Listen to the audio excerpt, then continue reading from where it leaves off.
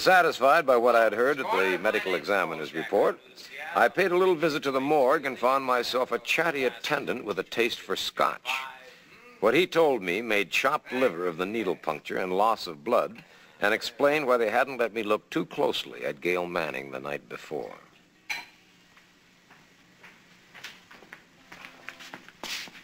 Well, uh, no, no, no, no, no, thank you, thank you. No, no, thank you very much. You go right on ahead, though.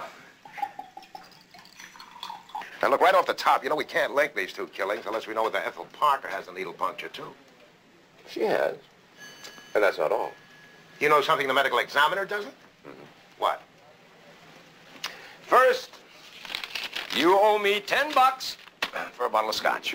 What? Yep. Bought for one anecdotal morgue attendant. Okay, keep talking. Hurry up.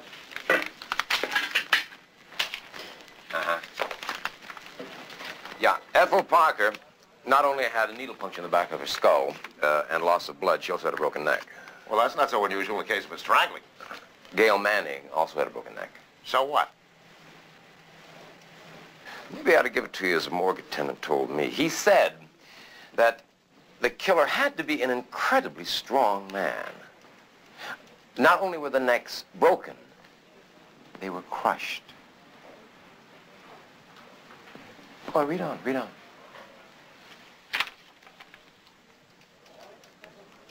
Oh, no, no, wait a minute. That's what the man said. On the throats of both victims, there was a residue of rotted flesh, as if they had been strangled by a dead man.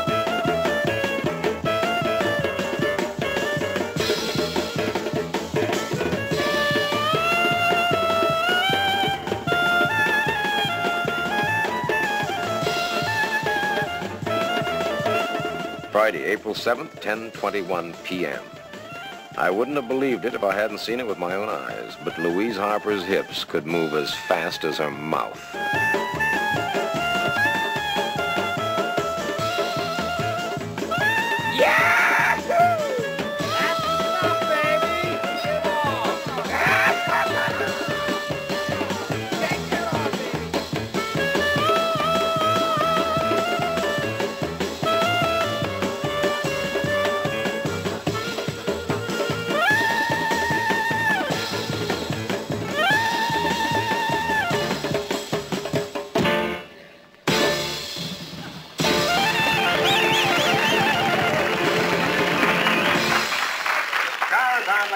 Ladies gentlemen, Princess of the East.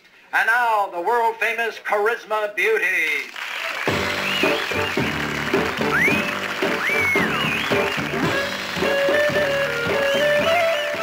Knock 'em dead, Charisma. Why should I do that? I like them.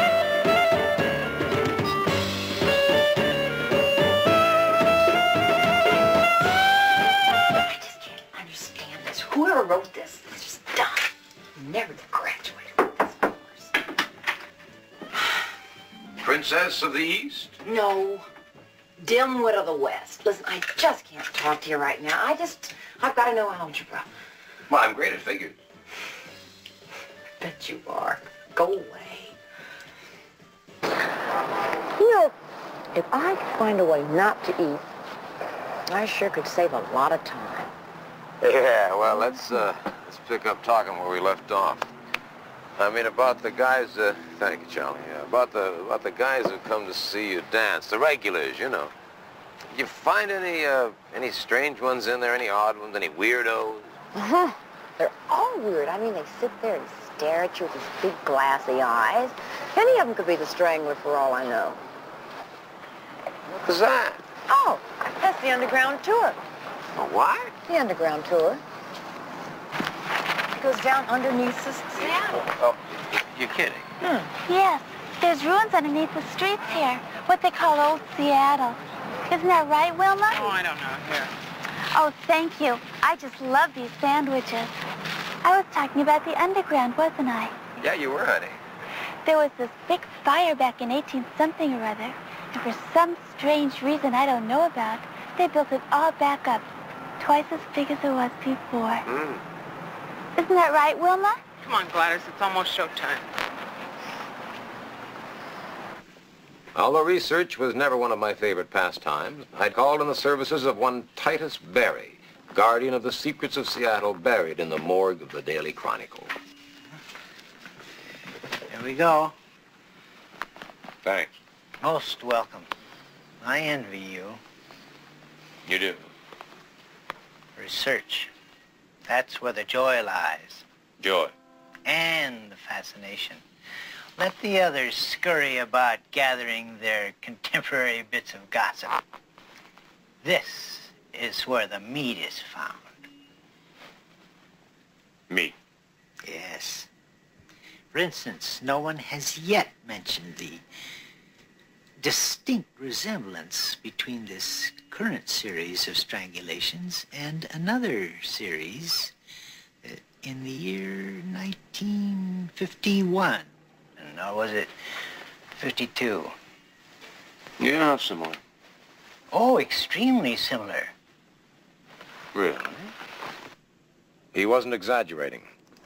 On March 27th, 1952, one Myra Johns was discovered strangled in an alley in the Pioneer Square area. On March 30th, a second strangulation took place in the same area.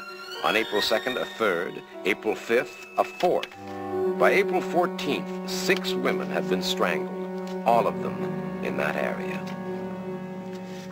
The stories intimated that certain, quote, bizarre details, unquote, had been repressed by police officials. I wondered what they were. I hardly think we can say we have the same killer now as in 1952. Read on. Again? Again. Incredibly strong and had the rotted features of a corpse? Those are exact quotes, word for word, from Man of Simon Action in 1952. Well, you know I can't print this. Why not? If you don't know the answer to that, Kolchak, I don't know. I came to Seattle for some peace and quiet. What do I get? You again and another crazy story. Yeah, well, we'll soon see if it's crazy or not. How asked the red-eyed editor knowing that? Because if it is the same killer, he hasn't stopped killing. Sunday, April 9th, 1.42 a.m. Joyce Gabriel, on her way home from a late date, didn't know it was a bad idea to be in the Pioneer Square area late at night.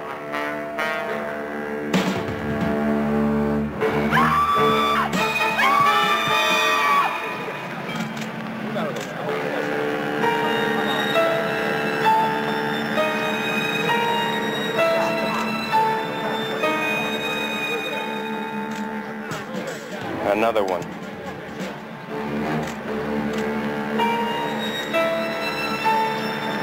Just settle down, Miss Gabriel. I never saw anything like that in my life. I, I, I don't know why he didn't chase me after, after he killed her. I just, I just, you know, I, I ran as fast as I could until I, I, I Miss Gabriel. saw you. Now listen, I'm telling you for the last time, I'm getting sick and tired of you butting into my business. Now, will you please let me ask the questions, Mr. Kolchak? Certainly, Captain. All right. Certainly. What did he look like? Are you deaf? Now, look, get rid of that tape recorder, too. Now, what did he look like? Oh, God, I hope I never see a face like that again. He looked like a dead man. Like a what? Like a dead man. Don't say, don't, don't say it. I don't want to hear it. What about the broken necks and the rotted flesh in the throats of the three I told you I didn't want to hear it. Besides, it's not official. Not official. Who cares whether it's official or not? Look, you I'm- know it and I know it. I'll buy the possibility that it's some guy, a killer that strangled the six women in 1952. But a man, Carl, not some kind of super dead man. That's the way he has been described more than once. I don't care if he's been described that way more than twice. Let me finish my life. Where are you going?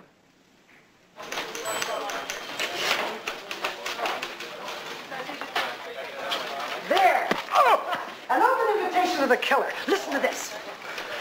I intend to walk the streets of the Pioneer Square area every night from now on. Just let him try to kill me if he dares. He may be sick, but he's not crazy.